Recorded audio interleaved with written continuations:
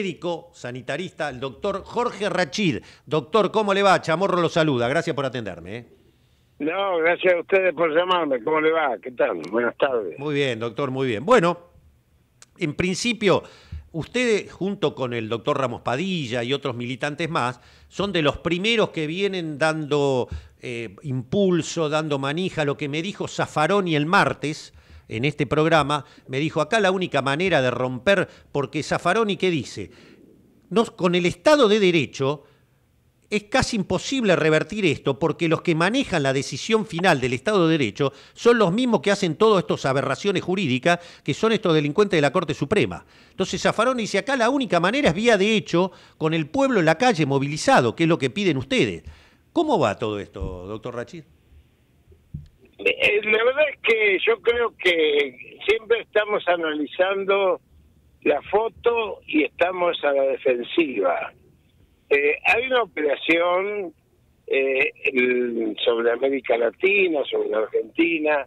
Yo siempre vengo diciendo hace mucho tiempo, no yo solo, obviamente otros también, que estamos bajo ataque. Y cuando digo que estamos bajo ataque, las Cortes Supremas y los tribunales se han convertido en las rampas misilísticas de ese ataque que tiene que ver con la persecución de los movimientos nacionales y populares en América Latina, que han sufrido desde Lula a Dilma, desde Correa a Lugo, desde Cristina, y podemos seguir la larga lista, que tiende fundamentalmente a posicionar los intereses del mundo unipolar en, nuestro país en, bajo un sistema de coloniaje. La Corte Suprema de Justicia, esta, de cuatro canallas corruptos y criminales, y puedo explicar cada uno de los términos, ha impedido el funcionamiento del Poder Ejecutivo, no podemos tener Internet como servicio público, no pudimos ejecutar medidas de cuidado en plena tercera ola pandémica provocando miles de muertes, no pudo el Senado ejercer su potestad de nombrar, de, ubicar los jueces en sus lugares naturales. Es decir, esta Corte, que es la, testamentaria, la tutora de la democracia argentina que ha debilitado, la ha denigrado, la ha hecho prácticamente claudicar, es también la responsable de llevar a la patria a un estado absolutamente de indefensión como puede ser lo que hoy está provocando la comandante de la cuarta flota con la eh, extorsión y las amenazas que ejerce sobre nuestro país para evitar las inversiones chinas y rusas o las que amenaza con tomar represalias por eh, comerciar en monedas locales con China, en este caso a Lula primero y a nosotros también por la utilización de los yuanes. Entonces, esta Argentina que dice que es democrática, no es democrática en tanto y en cuanto esta, esta situación de, de, golpismo destituyente que ejerce la Corte Suprema de Justicia de la Nación de estos cuatro personajes. Por lo tanto, estamos en peligro no ya como, como democracia, no ya como peronismo, estamos en peligro como patria, como soberanía, como, como proyecto o modelo, o modelo nacional, y esto es mucho más preocupante que un simple hecho anecdótico o la foto de una circunstancia puntual.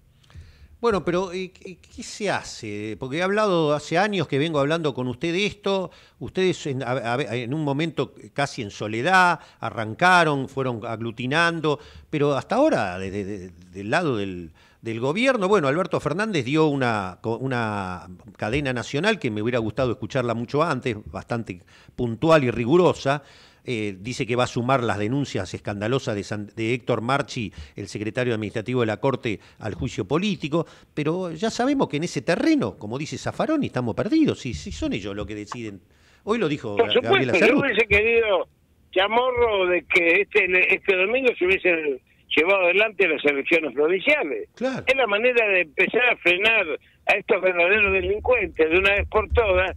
¿Qué hubiese hecho la Corte si llevara adelante las elecciones provinciales? Con tribunales provinciales que no solamente fueron las que autorizaron esta situación, sino que además son absolutamente eh, soberanos en las decisiones que puedan tomar. Por lo tanto, tendría que haber habido una decisión política fuerte como la que deberían haber tenido y que yo creo que la próxima decisión política fuerte va a ser tenerla a Cristina Fernández de Kirchner de candidata a presidente de la Nación. Vamos a ver qué dice la Corte, si se atreve y si se atreve, qué puede pasar en función de lo que realmente están tratando de, eh, por todos los medios, de impedir, porque en realidad no es Cristina, es el conjunto del peronismo a quien quiere borrar el mapa, ¿no? Jorge, eh, se perdió la voz, no sé si eh, usted se movió, perdimos la voz suya. siento que me aumente el retorno porque lo escucho muy bajito. Algo pasó, Nati, fíjate, porque está pidiendo que le aumente el retorno, no sé qué pasó, yo lo perdí acá, no sé si es... Está todo igual. Está todo... Ahora sí. Yo lo estoy escuchando. Ahora volvió bien. No sé qué pasó. Bueno, este, se ve que hay algún movimiento ahí con el celular. Eh, bueno, este, ahora bien, eh, claro, eh, lo escuchaba a usted, lo escuché a Rodolfo Tailiade.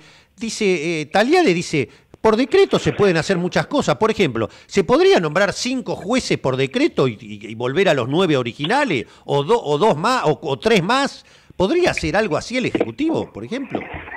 Yo creo que el, Ejecutivo puede hacer eh, cualquier cosa en un estado de debilidad como el que tiene, porque también viene de soportar cinco, cinco de las siete plagas de Egipto, el saqueo, la delincuencia, el robo, la fuga eh, y el vaciamiento del país que hizo el macrismo, la pandemia, la guerra mundial, la, la crisis bancaria y ahora la sequía, o sea que viene luchando, faltan dos, dos grandes plagas que espero que no las tengamos de acá eh, a, las elecciones, porque en realidad lo que hay es una maniobra destituyente por delante. Nosotros se podemos hacer mil cosas, pero en realidad lo que hace falta es una movilización popular que rompa este esquema supuestamente institucionalista donde cuatro canallas se han apropiado de la democracia argentina.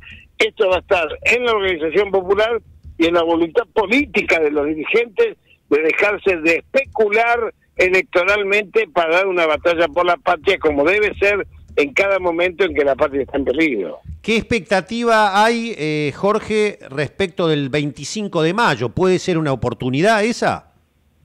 Yo creo que puede ser una oportunidad, pero tenemos que saber que si hay una victoria del enemigo fue la fragmentación de la fuerza del campo nacional y popular y que la victoria nuestra es la victoria de la unidad en el proyecto estratégico de una nueva constitución que impida este tipo de situaciones.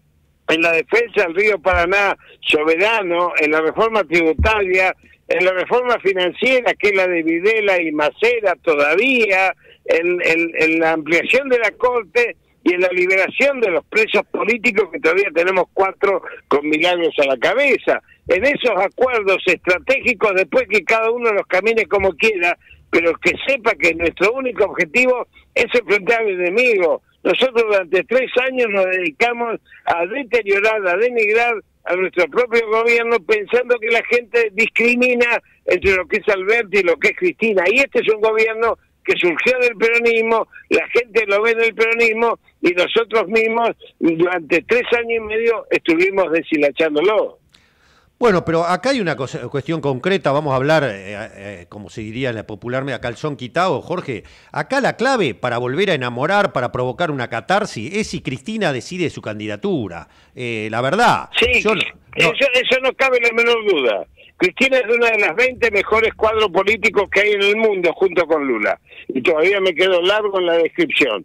Pero también es cierto que el conjunto de la dirigencia tiene que ser la mesa necesaria institucional de los movimientos sociales, el movimiento organizado, la CGT, las 12TA, los curas opción para los pobres, los villeros, los derechos humanos, las cámaras PYME, eh, los partidos aliados en una mesa táctica que dé la respuesta necesaria a este enfrentamiento que el enemigo tiene absolutamente diseñado y nos lleva a perder la Patagonia Austral, el mar territorial argentino, la Antártida, los pasos bioceánicos porque lo que intentan es debilitar la Argentina para evitar la consideración de Luna Sur y en lo interno evitar la ampliación de la Corte, porque el juicio político está dando resultados que pueden llevar a cambiar los votos de diputados.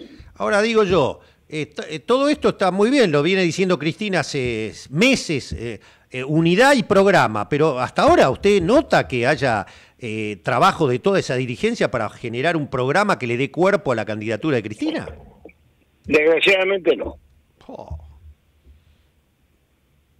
pero que estamos dispuestos a luchar, porque los militantes, nosotros no somos militantes en función de objetivos puntuales, nosotros somos militantes que eh, militamos sin esperar cosecha, militamos en función de nuestras esperanzas, nuestras utopías con las cuales llenamos la mochila. Aquellos militantes que militan esperando cosecha no son militantes, se están transformando la militancia en una bolsa de trabajo. ¿Y entonces?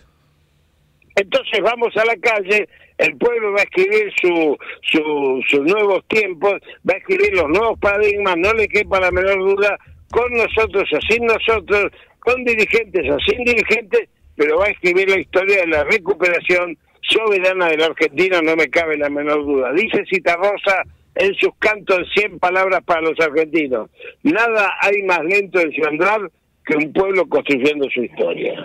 Pero, eh, pero eh, Jorge, si eso no se la motiva, ese pueblo no se lo motiva, no se lo, no se le organiza, eso no, no es espontáneo. Yo, eh, el, 25 de mayo, esclavo. para eso tenemos que tener claro que cuando gobernamos no podemos ser parte de consensos que permitan afirmar realmente los círculos de poder, porque como bien dijo Cristina, te entregan solamente el 25% del poder, el 75% restante está en manos del poder real. O sea que si no aplicamos la ley de antimonopólica sobre Clarín, si no aplicamos la ley antidemocrática, si no aplicamos las leyes que tienen que ver con el sistema financiero, si no modificamos el sistema financiero, si no avanzamos con obviamente un cuchillo entre los dientes en los cambios estructurales, podemos dar respuestas puntuales, quizás de consumo al pueblo argentino, pero la matriz estructural de la Argentina va a seguir siendo colonial.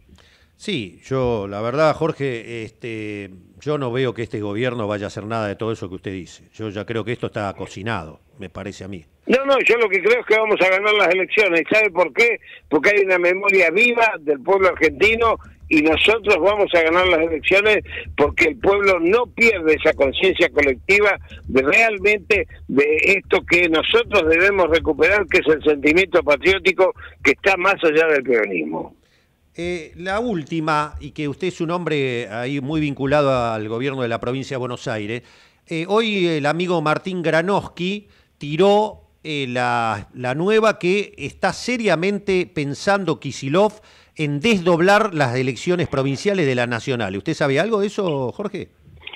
La verdad es que yo lo, veo aquí si muy firme, muy muy comprometido. Estamos llevando adelante en este momento un plan quinquenal eh, realmente maravilloso y creo que lo que haga Kicillof va a tener mucho que ver con si se aplican o no se aplican determinadas decisiones que tengan que ver con cerrar o con abrir la posibilidad de que haya paso. Me parece que esto es el eje fundamental que hoy está en el análisis. Ah, bien. ¿Y usted qué cree hasta ahora cómo viene? Porque Guado de Pedro y Massa coinciden, ¿no? Y por eh, Cuervo La Roca hoy también coincidió.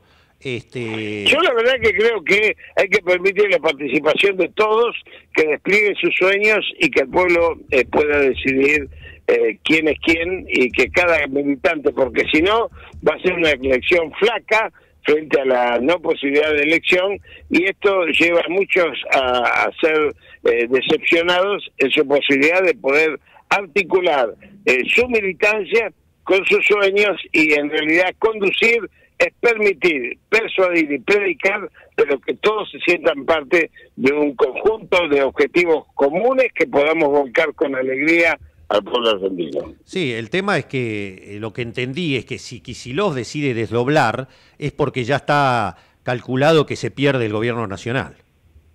No, eh, si decide desdoblar es porque realmente se toman decisiones equivocadas a nivel nacional. A la pucha. Bueno, ¿y usted qué cree? Nada, yo, la verdad que yo creo siempre en el pueblo argentino, en mi máxima creencia, en mi máxima fe, en mi religión y en mi militancia como proyecto de vida. Se entiende. Bueno, eh, entonces, eh, como hito para los que nos están escuchando, los militantes y todo aquello, el 25 de mayo hay que, hay que llenar las calles de gente, ¿eso sería un, un hito?